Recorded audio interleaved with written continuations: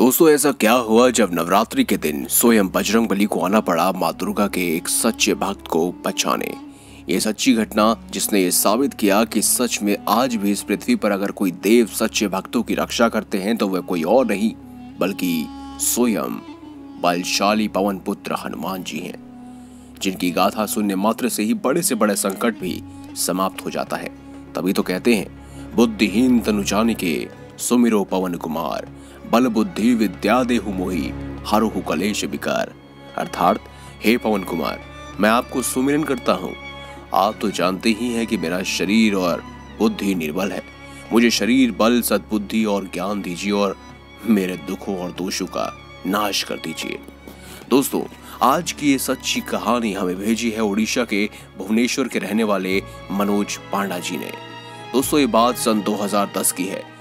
जब मनोज जी को नौकरी करने भुवनेश्वर के बाहर राउकेला के समीप एक छोटे से गाँव में जाना पड़ा। यहाँ उनकी नौकरी एक स्टील प्लांट में लगी हुई थी, जहाँ उनकी नौकरी बहुत अच्छी चल रही थी और यहाँ आए हुए उन्हें कुछ ही दिन हुए होंगे कि उन्हें घर के पास में दो परिवारों के बीच काफ़ी झगड़ा हो गया।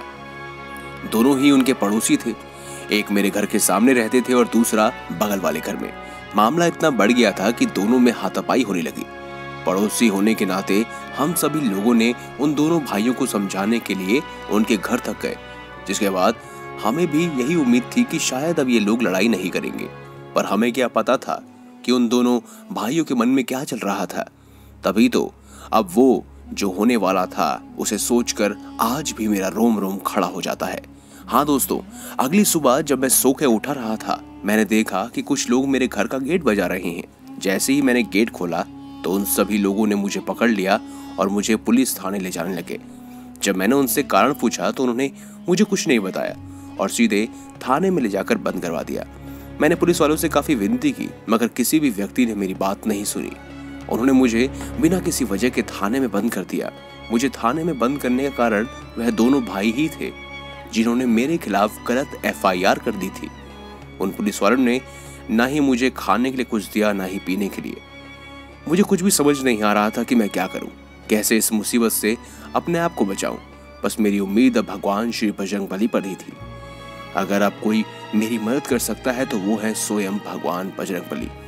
इसके बाद जो चमत्कार हुआ, उसे सुनकर दोस्तों, आपके कान भी खड़े के खड़े रह जाएँगे।